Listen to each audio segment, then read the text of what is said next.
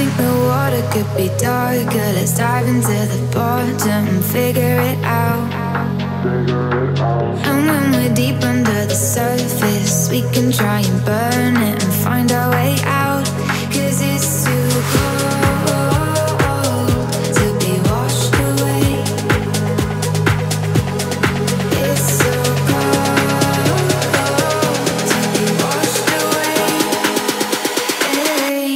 Cause when we hit the